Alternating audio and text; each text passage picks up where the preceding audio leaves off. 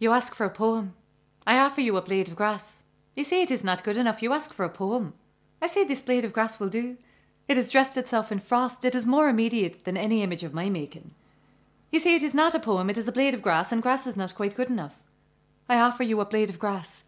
You're indignant. You say it is too easy to offer grass. It is absurd. Anyone can offer a blade of grass. You ask for a poem. And so I write you a tragedy about how a blade of grass becomes more and more difficult to offer, and about how, as you get older, a blade of grass becomes more difficult to accept.